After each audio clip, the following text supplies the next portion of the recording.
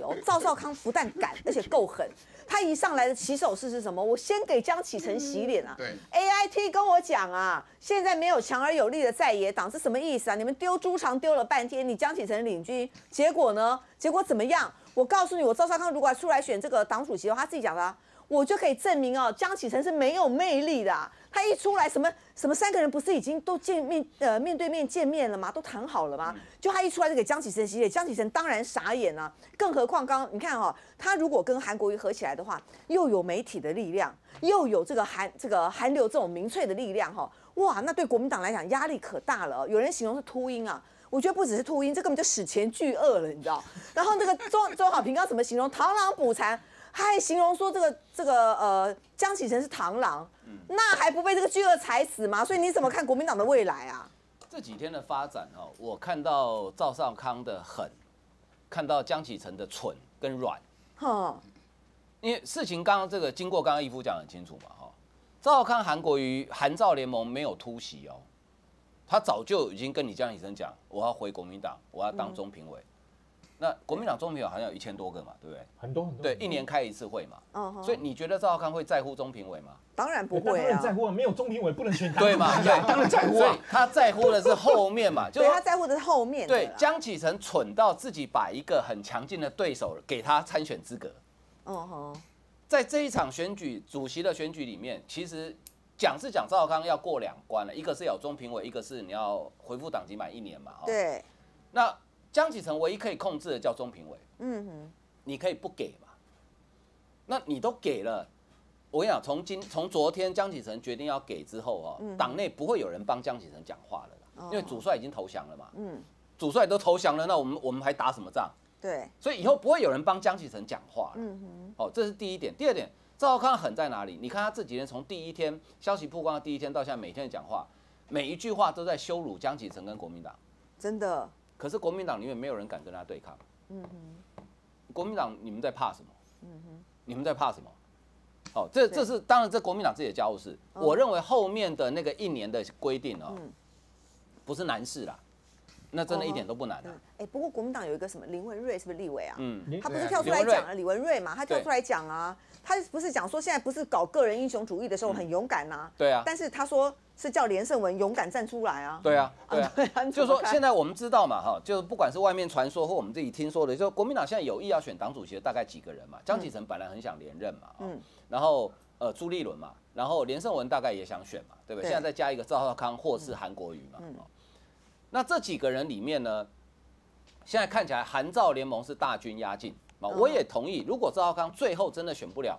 韩国瑜就出来选，因为他完全符合资格啊，他没没有任何门槛的问题他，他担任中常委，对他百分之百符合资格。哦嗯哼，可是你你怎么去看？就是说我看了四天，到今天为止，国民党的这些呃，我我不要称他为挺江派，就国民党有些人还在讲说啊，这个制度是怎么样？你们拜托不要蠢了，好不好？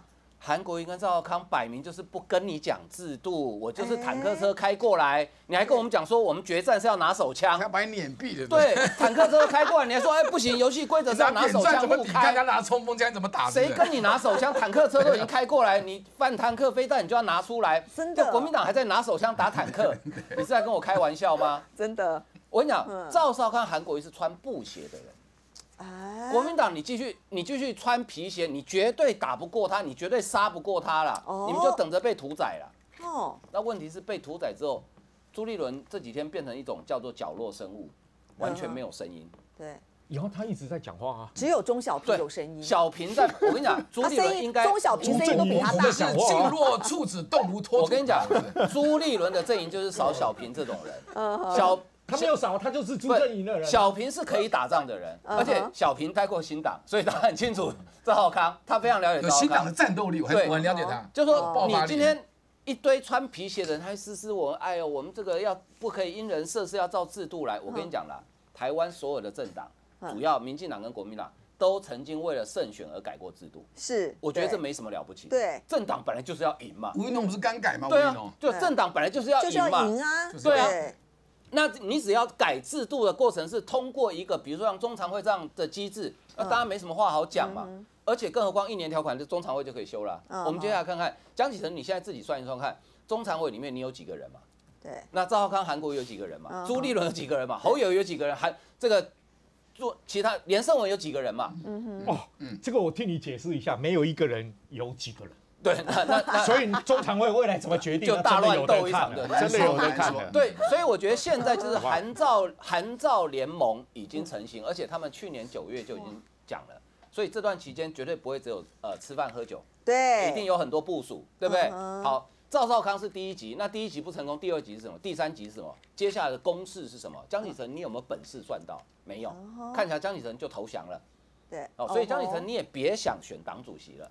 因啊，江启臣有一个半张门票的策略耶，他有什么？我跟你讲，他那个 我我是不好意思讲他什么策略了，但是那个策略就是，怎么会有人政治嫩到这种程度啦？他只想指望中常会而已。对你你去碰指望请问是谁啊？中常会你可以管得动谁啦？别的我不讲嗯。江启臣刚当党主席的时候，他不是讲说九二共识是历史文件吗？嗯不是在萨也就是成立一个小组吗？对，结果连战跟马英九都还没骂他，哎，嗯只不跟他吃饭而已，哎他就缩回去啦。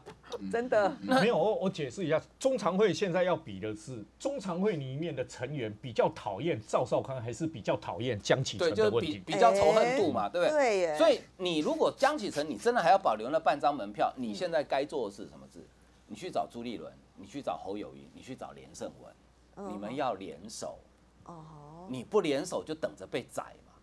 哎，这些人都不像赵少康有媒体哦，，对，可是嗯我觉得国民党里面有很多就真的这这真的不会打仗。嗯，赵少康我不管他将来怎么变，因为他会不会当党主席那还未知数。我对假设他当了，我不管他将来怎么变。嗯他从一九不要讲九四年，从九零年。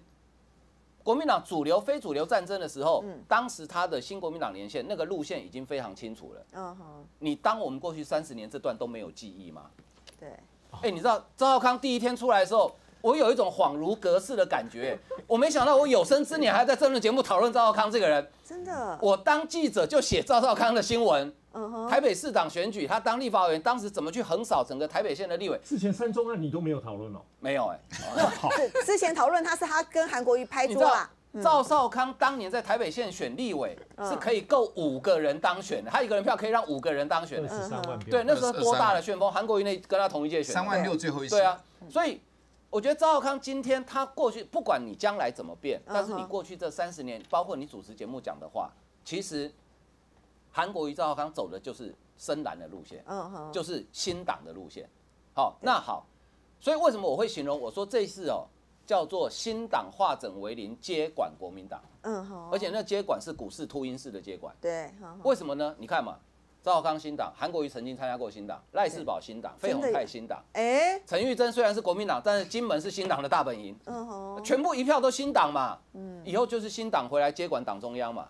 哎。那问题是，国民党这些所谓的本土蓝呢，就嗯一堆小孬孬，到现在没有一个人敢跳出来告诉全体的党员说，国民党不能走新党路线，不能走深蓝路线对，不能走红统路线，国民党要走本土蓝。到现在谁敢讲？嗯哼，没有人敢讲嘛，所以你高度拉不出来嘛。嗯赵少康有韩国瑜的优点，口才非常好，但是赵少康有一点是韩国瑜没有的。嗯赵少康比韩国瑜聪明，而且他的谋略比韩国瑜高，真的，这一点是韩国瑜缺点。所以韩国瑜，你不要以为你把赵少康拱出来当党主席之后，你二零二四可以选总统。哎，我跟你讲，难讲哦，赵少康做上瘾了，说哎，总统我自己来选就好了，我干嘛让给你韩国瑜选赵？少康当了主席，还轮到韩国瑜选总统，啊所以门都没有。所以我跟你讲，国民党接下来那个宫斗戏吼嗯很精彩啦，会不会亚于三十年前主流非主流啦？嗯哼，不过这当然不会是完结篇，让我们。